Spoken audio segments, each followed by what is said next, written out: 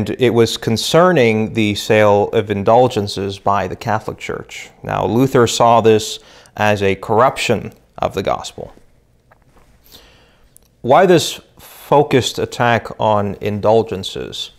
And how did that impact the Reformed thinking on law and grace?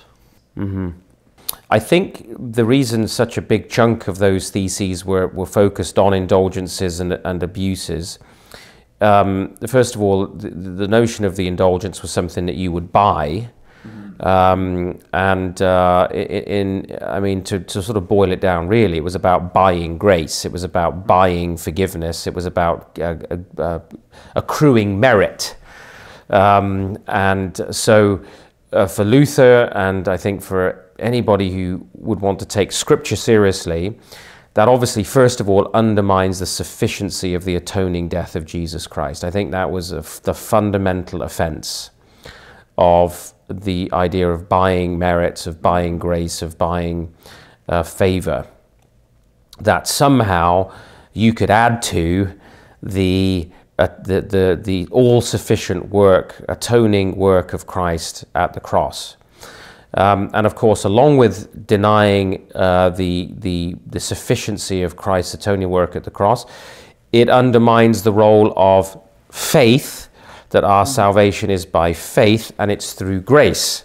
Uh, because if, if I actually need to buy an indulgence or, or I'm able to buy, um, uh, acquire grace or buy grace by um, uh, paying for it or by through saints or some other personage like Mary, um, then actually faith and grace become far less central. They may still play a role, uh, but it's not grace alone mm-hmm. and faith alone uh, and Christ alone anymore. It's Christ and it's faith and it's grace and.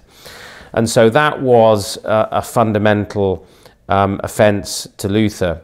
Um, and another thing that it does, of course, is instead of Jesus Christ becoming the um, being, I should say, the source of all power and all authority and, and being the, the, the power center, if you will, of the Christian gospel, um, the church institute, if the church is to enrich itself on selling grace, uh, then of course the dispenser of salvation is a, is a human institution. And that institution makes itself rich, uh, enriches itself on the basis of selling grace to the people. So there's also there not just a denial of the sufficiency of the atonement or the sufficiency of faith and grace, but there is a shift of the center of, of power and authority from Christ himself as the head and Lord of his church to a human institution, to, to, the, to the church institute uh, that is able to sell you uh, grace, which of course centers all the power uh, and indeed the money uh, in the church institute. And that too was an offense to the reformers. Uh, the, but the reformers saw that there was a there was a great danger that not only was the, the way of salvation being undermined by these indulgences and abuses, uh, but the church institute itself uh, as an organization, um, because of course the church uh, uh, with sinful human beings in it and, and fallible sinful leaders within it, um, would become the power center uh, because it is the then effectively the dispenser of grace and salvation, which is it's only Jesus Christ who brings salvation. Um, so, uh, and of course, uh, to to pay for that on top, mm. to actually then be able to acquire this grace or this indulgence uh, through money, uh, is a fundamental denial uh, of the gospel and of the sufficiency of Christ's work.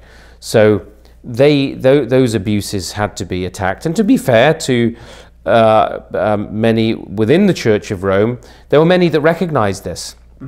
that these were abusive, uh, that these were an abuse of power. Um, and, uh, you know, I think the Counter Reformation, in many respects, sought to try and deal with many of those uh, abuses. So, uh, in some respects, there, I'm not sure that Luther was saying something that was all that um, shocking or controversial to the average person who looked at what was going on in, in, in, in Rome um, and beyond and thought, what has happened to the church? Where is it? Where is the true church of Jesus Christ? One interesting observation is that the idea of the indulgence itself probably originated in the notion of restitution, hmm. which is an aspect of God's law, of course, and probably the most famous incident that we see in the Bible is Zacchaeus. Mm. Uh, in through the ministry of Jesus, making restitution, going over and above in making restitution what the law required of him, uh, because um, the fruit of repentance uh, from sin is that, as far as is possible, in the human relationships that we're in, that, that we make restitution. So, uh, you know, him that steals, steal no more, uh, and seeks to restore what has been stolen. And, we, and uh, when this happens in Zacchaeus' case, Jesus says, you know, salvation has come to this house. Mm. so, probably the indulgence is, in a sense, a, a perversion of the, the good practice of uh, making restitution where possible in our relationships one to another.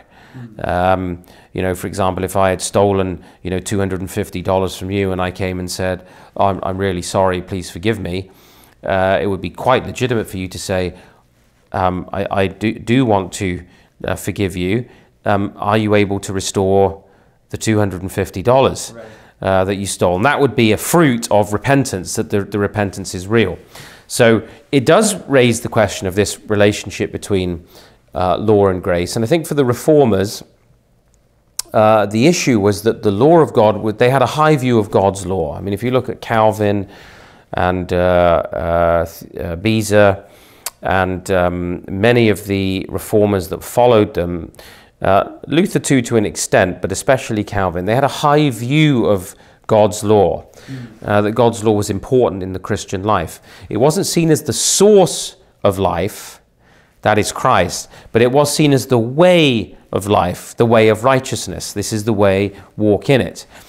Um, so to seek to be obedient to God's law word was not seen as a denial of grace by the reformers, certainly by uh, Calvin, the great theologian of the Reformation, no, to, to, to, to be conformed to the image of his son, Christ, who was living Torah. He was the truly obedient son. He was the one who fully obeyed God in every detail.